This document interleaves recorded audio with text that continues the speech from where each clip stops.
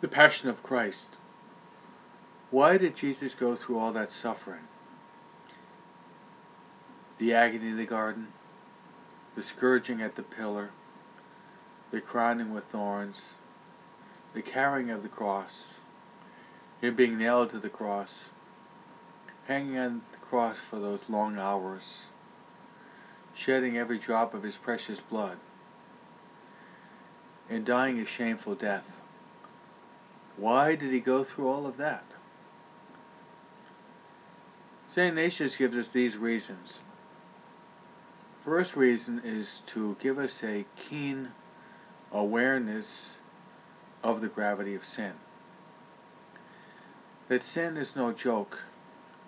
For that reason, the spiritual exercise of St. Ignatius, he spends a block of time called the first week of the exercises after principle and foundation, meditating upon sin from God's perspective, the effects of sin, and the capital sin, sin within us, culminating in a general confession which is liberating ourselves from our sins.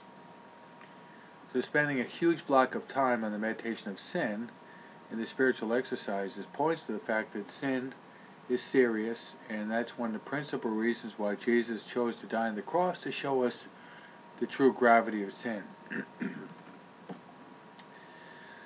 but even more so, Jesus died on the cross to show us the depths of his love. His love for all of humanity. But also his depth, the depths of his love for all of us individually. If Jesus had to go through his passion again, with all the excruciating pains that were involved in it, he would go through it again for you even if you are the only person in the whole world. He shed his precious blood for you as if you were the only person in the whole world.